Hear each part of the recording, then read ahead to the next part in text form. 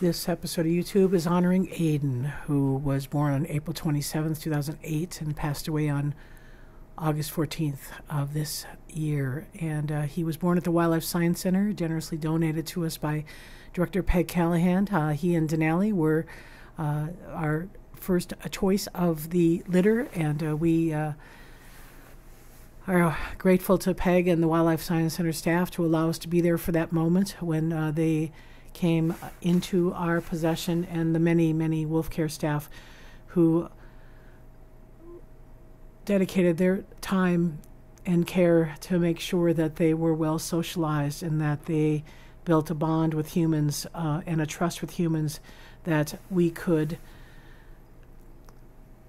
expand into their life uh, from the time that they're pups to their adulthood and uh, can manage them in the aging process and all of the challenging things that come with older wolves and all of that trust is is part of the socialization process and why we uh, work with socialized wolves and why we choose to socialize so Aidan also has a great history with pack members like Grizzer.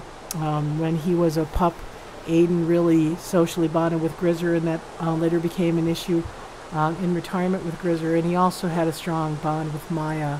Uh, Maya was our dominant female and kind of took Aidan under his wing, even though um, Aidan was a very uh, respected his pack leaders. He listened to them, and even though Maya was a little intense sometimes in his early life. And this is a clip of Maya during a period of time when she was uh, directing uh, where Aidan could be and what he could do. Um, their conflict um, was an interesting relationship and eventually created a pair bond, and that's really when Aidan became a pack leader. And then, of course, uh, Maya passed, and he had to pair bond with Luna, which was a little bit different uh, challenge. And then uh, with Luna's circumstance with the 2016 pups, where she wasn't able to maintain uh, a, a, rank within the pack, Aidan took over, and it was his strong social behavior that was grace and salvation on that first introduction day in 2016. Um, Aidan being who he was and uh, um, giving that reassurance to a pup that was a little bit traumatized by the entire event. And uh, um, even now, we uh, saw Grayson and Aidan communicate um, more times than not in this past uh, year or two since uh, Aidan's been retired. So we, again, have a lot of memories of Aidan. And uh, um, towards the end, when he was no longer the pack leader, um, there was a little bit of tension with Boltz and uh, with the Arctics, but um, as we understood Aidan's needs, we did allow him to mentally let go of this pack. And so there was a lot of debate in 2017 about needing to take Aidan out and not letting him go through the stress of being deposed as a pack leader. But what we discovered was that allowing him to mentally let go of this pack really meant that he could come into retirement with a much better mindset, much better frame of reference. Um, he, Aidan was no doubt a very complex animal from the time that he was a young pup until he was, uh, you know, until he passed away. Um, there was a lot of complexity to how he viewed things, to how he interacted with fellow wolves, with how he interacted with the staff. And it's that social part of the wolf pack that I think is very, very important for people to understand in captivity.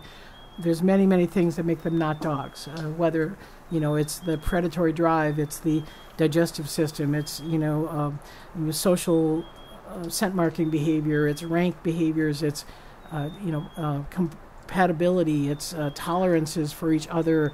Um, one thing I think that's really important for us to understand is that these animals that are pack driven and uh, weaknesses are shown as vulnerability oftentimes mask a lot of things that maybe you might see in a domestic dog a little bit earlier that you won't see in a wolf. And so, even at this time, and this clip was filmed in 2017, uh, prior to him being retired, you know, we were dealing with mast cells then. We were dealing with these uh, responses of the immune system to a, a circumstance um, uh, that made him. Uh, you know, weakened.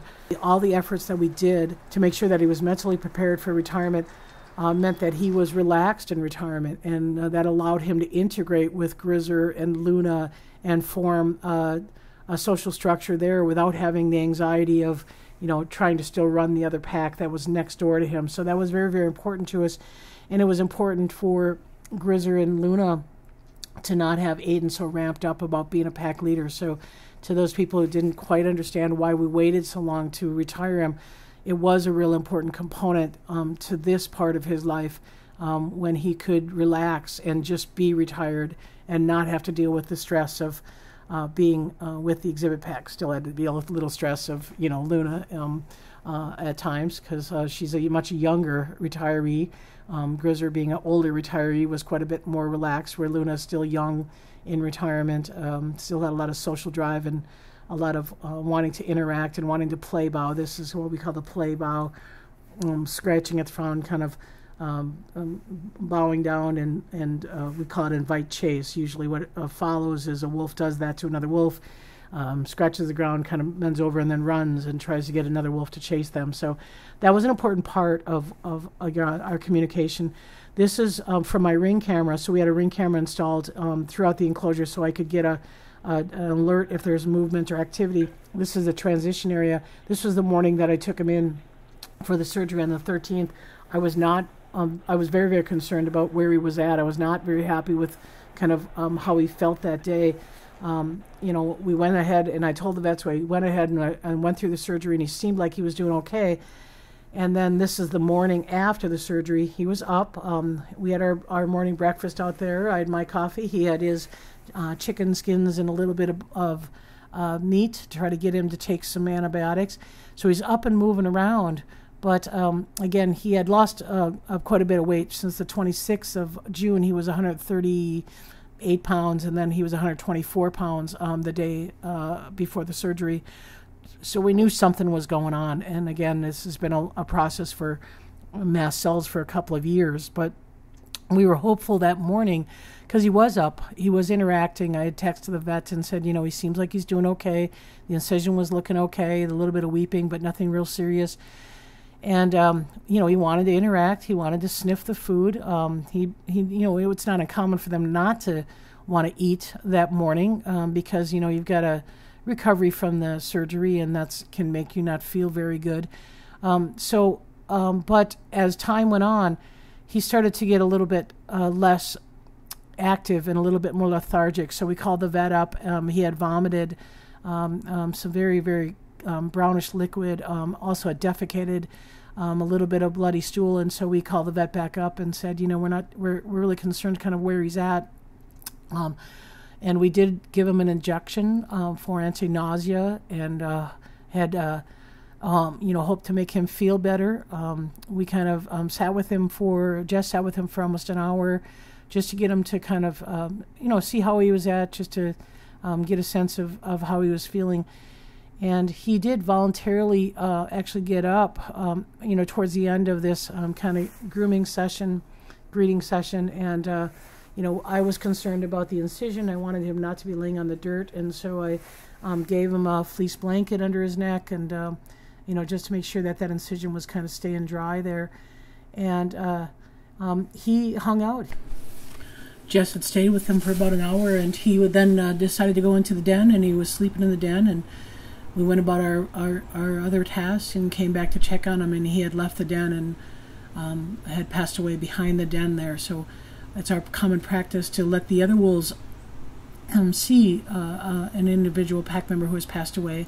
Um, it's been our experience that they don't search as much if they kind of can process it. And so you see Luna um, there, and then we also allowed Grizzer to come over. Um, Aidan's wearing my wolf coat. Uh, um, usually, when a pack leader goes, uh, they and they go with the uh, curator coat. Um, Shadow had a green one, Aidan had a blue one, and uh, you can see a little bit of drooling there with Luna. Um, we're not really certain what um, is being stimulated here, but it's the same kind of uh, salivation and drooling, um, certainly, um, that we witnessed when the pups were introduced in 2016. So there must be something in her. Uh, uh, uh, you know, endocrine cycle that's triggered there by that presence. Uh, maybe it's prolactin, maybe it's nurturing. I'm not really sure what it is although she wasn't the greatest nurturer to those pups. Um, but you'll see the same kind of drooling, same kind of excessive salivation.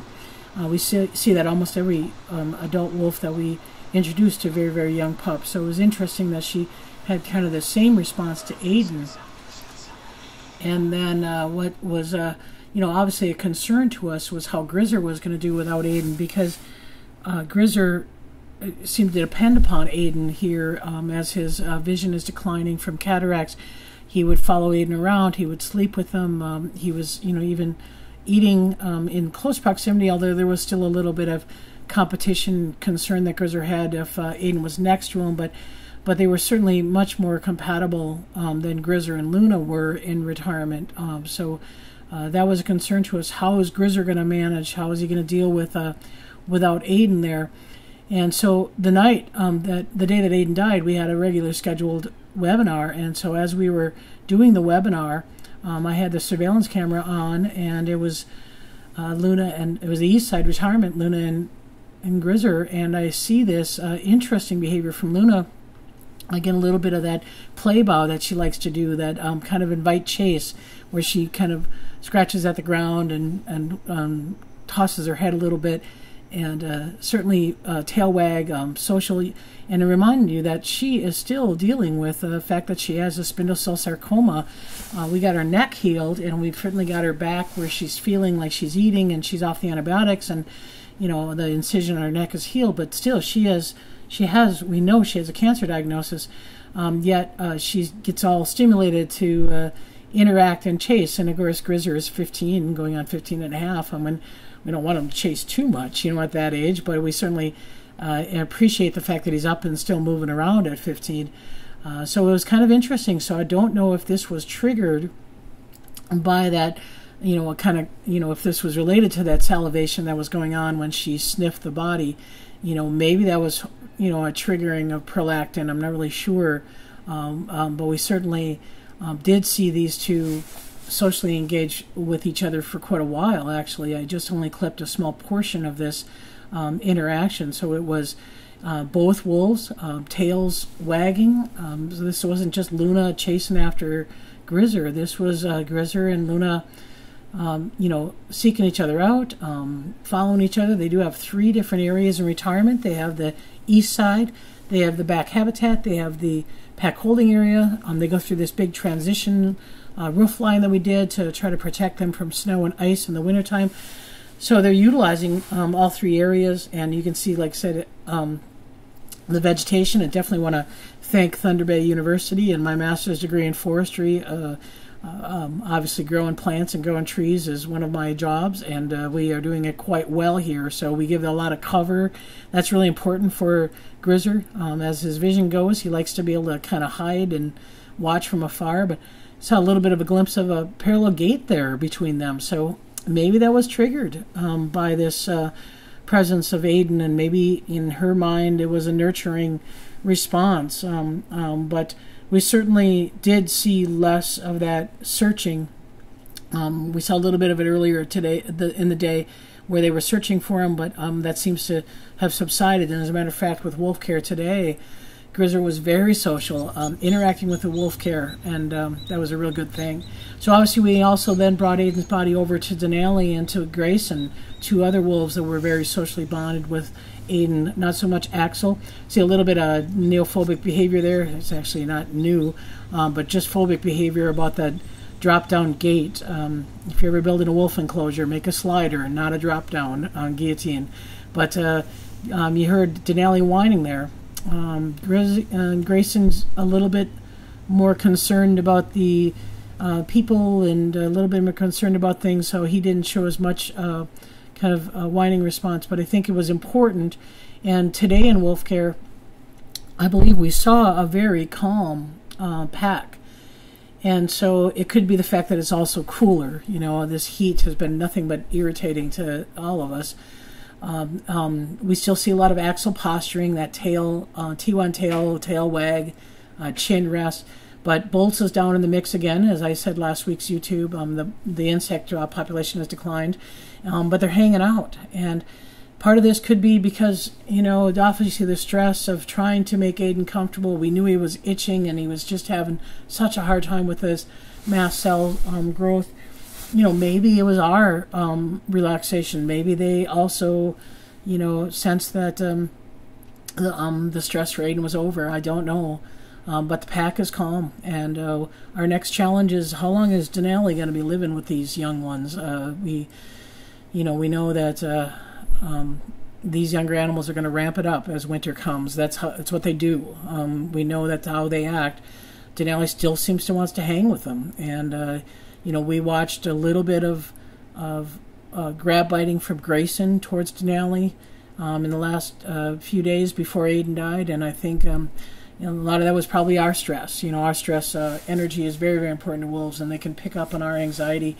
Um, very important that people recognize um, that uh, these animals are masters at reading body language and uh, um, and uh, energy that is negative um, will often create some redirection amongst the pack. So, so that's kind of where we're at, and we'll keep you posted as we learn some um, information on the biopsy report. But uh, uh, again, signing off, remembering Aidan.